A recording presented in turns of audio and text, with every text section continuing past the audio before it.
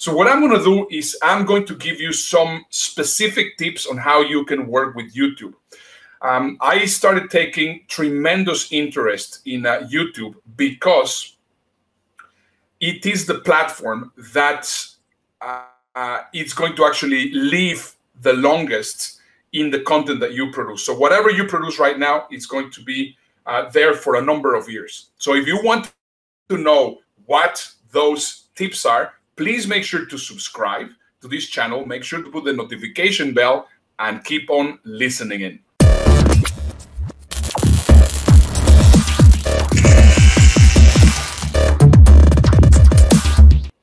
So, the first thing that we need to learn in order for us to understand how to deal with creating content in YouTube is that we need to have a little bit of and consistency. This is the number one secret that you need to have. So, first of all, you need to be consistent, and this uh, picture actually describes it very well. It's exactly like a diet. I mean, you cannot be you cannot be on a diet for one day and then eat uh, three chocolate cakes and two pizzas the next day because it's not going to work. You need to be consistent so that you can actually get the results. And you need to be patient because once again, we need a number of different videos. So how many videos do you need in YouTube in order for you for YouTube to start thinking, well, you know, he's a serious uh, content creator, and we heard it on the uh, uh previous episode of uh, Fast Forward, and it was 412 videos in order for you to get YouTube to start already considering you a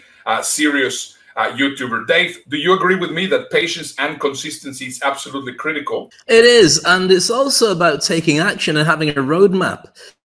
I mean, one of the things that we we do here is we share content with you, but we also have the ability to mentor, move people forward because so many people are putting stuff out there and it's rubbish. I've had a big problem with Absolutely. people on LinkedIn for ages because I love LinkedIn, but all the people that I see putting out lots of clickbait saying, oh, look, a cat's been rescued from a tree. Isn't it nice when people take the time to look after animals? I'm like, well, where's that going? What's the point in doing that? You've got a ton of likes, a ton of loves, but what a load of old rubbish. So it's got to be in a direction. You've got to be able to monetize it and you've got to make it close to your brand to actually make it effective. And so, yeah, I think the pieces you put out are important, but it's not the only thing. Correct. So, in order for you to start doing content which is not rubbish, you need to understand that it is a sweat equity asset. Just taking your camera and saying, hello, this is something, whatever, I'm, that just, those kind of videos do not really work and they're absolutely rubbish and you should not really be doing it. You have to invest some time and some effort in creating good videos because if not, nothing is going to really uh, stick. And that's the thing that you would not like to do it. Now, how do you create content which is not going to be rubbish? Well, I'm going to change your mind with this next slide. So please pay attention because this is absolutely critical and absolutely important. So what you need to do is you need to understand that yes, content is king. However, title is queen. And who's the who's the boss in the castle? the queen, not the king. The king might be. would you agree with that? We so think we're in charge until to, we get told to shut up and sit down. Exactly. So what we have to do is we have to before we start crafting the video, we have to figure out the title. Your title needs to be intriguing. Your title needs to be different. Your title needs to uh, talk about something which is going to make people say, "Oh my goodness, this is great." So before you start creating your content, you have to make sure that you figure out what your title is going to be about. Let me just show you what is exactly what I uh, mean with this. See, for example, I've been working with one of our speakers, uh, Frank Mulcahy, that you possibly have heard, heard, uh, heard me uh, talking about earlier.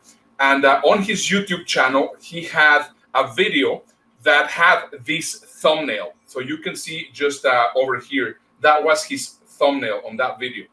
So as you can see, I mean, you see that video and uh, few people will click on it, but they will have, I mean, because of course they, uh, he's telling them, please click on it. How would you actually get people to click on that? I mean, and, and, and by the way, that's a great video of him explaining about cyber theft and uh, protecting your identity about cyber crooks. But guess what happened? Nobody was clicking on it. But then we said, you know what? The most important thing is to start crafting the name of the video. And this is what we created. So it's exactly the same picture. Are you protecting your identity from crooks? Do you think that's going to make people think and say, oh my goodness, I do not know, let me find out? And then, of course, if that piece of content is good, people are going to be watching it, which is, of course, the next piece. But before I go to the, into the next piece, which is engagement and retention, what you need to understand is that every single video that you upload in YouTube needs to have a proper thumbnail. What is a thumbnail? The first screenshot that you get. You can see a big, big difference. And right now, if you go to YouTube, you're going to see that a lot of videos have thumbnails. Right now, in fact, YouTube will not really uh, favor your, your video unless it has a proper thumbnail. And as you can see, if you see the video here and if you see the video here, it is already making a big, big difference. So we need the video needs to be great, but the need the, the video in order for you to make it really shoot to the roof, it has to create engagement and it has to keep the retention level uh, as high as possible. So what exactly does that mean? Well, first of all, engagement means that people are going to be watching. If your video is not watched at least 50 to 60%, is, uh, uh, YouTube is going to think, well, you know, it's not interesting. Now, I, and I have to tell you, this is what I have been noticing. Some of the videos, some of our videos that are watched over 35 to 40% are the ones which are doing the best. Uh, we have a few videos which are doing right now 65% that people see 65% of them. And those are doing okay. But the videos which people are watching the most are the ones which are having 35 to 45%, that they watch 35 to 45% of the time. And that is very important. So that basically is very critical. So that is the engagement. Now, what is the retention? The retention is that you keep them on your channel so that you don't have just one video but you need to have a number of different videos. So that's why you have to create volume exactly as uh, Gary Vee uh, was uh, was saying, and that's just really absolutely uh, critical. And uh, last but not least, I have you. I, I need you to think in the following way. So whenever you're creating a piece of content, this is the mindset that you need to get. You're going to create a piece of content thinking, whatever I'm creating, whatever piece of content of a video that I am creating, has to get people to say, you know what? I know somebody that is going to benefit from this content that I am creating. We uh, tested this with a video that uh, Dave did recently about the Black Lives Matter movement, and it's incredibly powerful. When somebody says to themselves, "Oh my goodness, this video I'm watching right now, it's something that I need to share or it's something that somebody else need to see, you have the right formula. Absolutely. That video, and we shared it, I think it was last week we showed how to make a video like that. Uh, it rattled around on so many social media, got reshared, had a ton of passionate comments about it, and it was really effective. And it was because it was simple, because it was a very simple message as well, but only appearing found that easy to go with. And for many people, especially, I mean, we've got an incredible group of superstars who I know are watching this right now. They've all been at the top of their game and they're all Googleable. Um, the hardest bit is taking yourself out of this because you're used to being the star and driving it through your own personality. But right now, there's a glut of personalities out there. There's so many people who can talk in front of a microphone and talk in front of a camera, who can share their stories. And here's the biggest challenge they're all better looking and younger than we are. It's just the truth. So if you want to be effective with it, you have to find a way to position yourself as the mentor and position yourself as delivering their story, not yours. Uh, there's four important elements that you need to know when you are creating videos for YouTube. First of all, you need to have an upload schedule. That means that uh, if you're going to be uploading one video per week, then it needs to be done. For example, if you're going to be doing it on Wednesday, then you do it on Wednesday. And uh, every Wednesday, you know that uh, you're going to be uploading your video. The second thing that you need to have is a content calendar. Uh, right now, what, what Dave and I do, and possibly you have seen it already with the uh, uh, toilet paper diaries and also fast forward, is we say the name of this week is going to be uh, virtual makeovers, and we do the whole thing on virtual makeovers. Um, we uh, are going to be doing another uh, week on, on superheroes. We're going to do another one on the brand new you. So every time we have different contents that we say our week is going to be dedicated to that, and we're going to cover from every aspect. We're going to be covering this topic so that, of course, we have a lot of clout uh, for, for for for us creating content for that specific topic. Now, a content calendar doesn't mean that you only have to have one theme, but you can also say, I can also just be working. Uh, for example, if we're going to be, if you are in in uh, in the restaurant business, or if you are in in the hotel industry, or whatever it is, you can say, well, we're going to be doing uh, September. It has uh, such and such different holidays, and then July we're going to be having the Fourth of July, and we're going to be ha having different calendar things that you can do.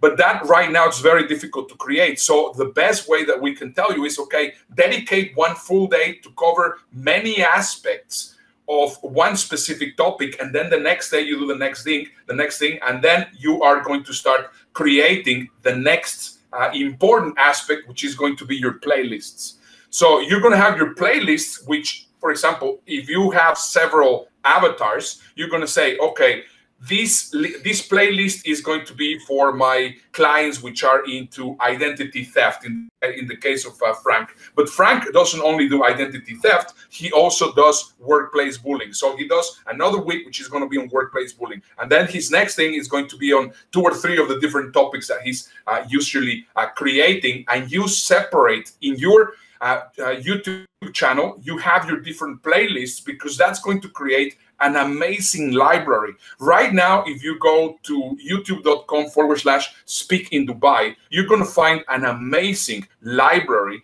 of incredible videos that we have created in the past uh, 100 days. So that's just incredible. And that is so impressive for anybody that is going to hire us. All we need to say is, well, you know, this is our body of work. People get incredibly impressed.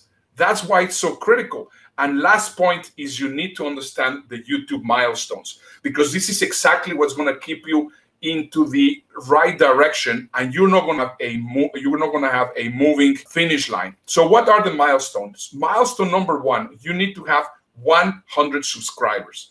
Why do you need 100 subscribers? Because after 100 subscribers, you will be able to call your channel whatever you want.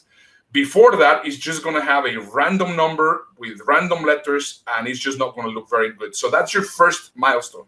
Your second milestone, it's going to be 1,000 subscribers. 1,000 subscribers might take you possibly three to four months, which I think it's already uh, perfectly fine. And uh, that's going to be when uh, YouTube says, well, you know, this is somebody which is doing things correctly. Now, these thousand subscribers are not going to happen if you have only 10 videos or 20 videos. So together with that milestone, you need to have exactly as uh, Gary Vaynerchuk was saying, you need to have at least 50 videos. And you know, you're going to say, oh my goodness, this is overwhelming. Yes, it is overwhelming if you think that you have to do every, uh, that you have to do this immediately. And this is the reason why the YouTubers YouTubers are successful, but right now most of the Generation X and most of the uh, baby boomers are not successful because, of course, they are thinking, well, I want the microwave uh, solution. I want results right now. While the YouTubers, they are spending so much time in YouTube that they don't mind actually keep on unloading and uploading and uploading content. You need to you need to know that this is going to take you a little bit of time. So that's the next one. You need to have your 50 uh, your 50 uh, videos, and then when you really take off is when you start having over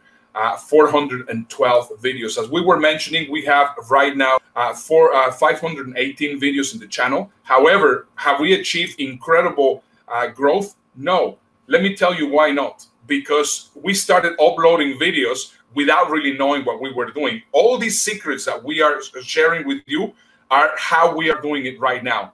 We took it took us a number of different uh, videos and uploads and what I this content. But right now we are already seeing the incremental growth, and this is the absolute power. We were saying that storytelling is the number one skill, and the second skill that you really need to learn in order for you to be successful in the digital world is going to be video editing, and that is just absolutely critical. If you do not really know anything about video editing, you won't be able to create these videos. How much has it meant to you learning to do video editing? Um, it's probably been the most important skill that I have, apart from my ability to engage and speak to audiences because it means I'm not dependent on anybody. And it also means I'm able to come up with stuff that's really creative, get it myself, put it all together, and send it out to the market. Now, previously, what would happen is if you wanted to engage an agency, to look after your brand or get a freelancer to create really creative stuff for you. I mean, we know from experience, you're talking $500 for creating a kind of video along the likes of the one I, I shared today. Because it took me about maybe two, three hours to put that video together. I can churn them out and you can do it the same with this and it's becoming an unbelievable skill. It's like a martial art of marketing that most people don't realize. And what it does is it elevates you above the game. Most people get their phone, they hold it like that, and they talk. Now, if you're good looking, which is what we're not, if you're young, which is what we're not as well, and if you've got a cleavage, well, we got that, then people will watch you and they'll love it and they'll like it. But that doesn't mean necessarily producing stuff content that they will want to share. They just quite like to ogle. The content is really effective. And if you put it into a right right position, it'll work. So what that means ultimately is there's a massive gap in the market for self-generated content that reaches a certain type of client. Right now, I'm actually not in my normal studio because I've had to challenge my laptop. I'm downstairs, I'm on my wife's laptop. Um, Ernesto's got his backdrop here. Now, most of the guys who started at home, Trevor Noah, Stephen Colbert, um, Bill Maher, they had to go from studio full of people clapping and screaming to at home, what's your house like? And after doing it for three, four months, we've all gone, I've had enough. I can't generate content. I don't want to talk politics. I don't want to talk about the virus. I'm a while and then wait to see how the market develops. And then I'll come back. Maybe we'll be in a studio or maybe we'll have some new Zoom type thing that allows me to talk to people in a virtual world. Now, here's the important thing. You can jump into that gap right now with what you do. And if you take the techniques that Ernesto's sharing about planting it out there and growing it, planting it and growing it, by the time these guys come back, yeah, they'll still get their market, but you'll be in it as well. And that's why it's key to learn these skills because it's cost effective and it means you can do it at any time and just produce it and get it out there. There's two questions that uh, every time I talk about these with my clients, they ask me, well, how can I learn to do uh, video editing? Well, it depends on what you're using. I mean, are you a Mac user? If you are a Mac user, uh, one of the things that it's great about the Mac is that they already have iMovies. You edit everything with iMovies, right, Dave? So it is already there. It's not, it's not going to cost you anything. Uh, the software is very uh, user friendly, and uh, you can just go to Udemy or Udemy, whatever you want to call it. Normally, they run these uh, specials, and you can buy a a quick course on how to do video editing. It's actually fairly simple. If you can do PowerPoint, you will be able to do video editing. And I'm, we're going to be sharing with you some amazing ideas on how you can actually create content and churn content like crazy. Now, if you are a PC user, the software that I recommend, it's called Movavi, M-O-V-A-V-I. It's about $35. It's worth buying because it's very simple. This is the simplest that you can use. And you can start creating some amazing, amazing video content that is going to, of course, take you uh, make you look a lot more professional than those people which are just taking their phone and saying, uh, hello, I am right now here. This is John Smith. Those videos are you know, they are okay, but they're very amateurish. We have now evolved and we cannot keep on just doing what we were doing in the past. So I hope that you enjoyed all these tips. And please, if you enjoyed everything that we were sharing, make sure to subscribe and get into the notification bell so that we can give us we can give you more and more amazing content in the Fast Forward Show. Well, I hope you enjoyed the video, and if you really enjoyed it, then make sure you watch one of these two videos afterwards. And Ernesto, what, why are you staring up the top of my head? Dave, your hair is actually thinning out. Well, if it is, it's about the only thing getting thin on this show. Here on this side, we have some more amazing videos for you to watch.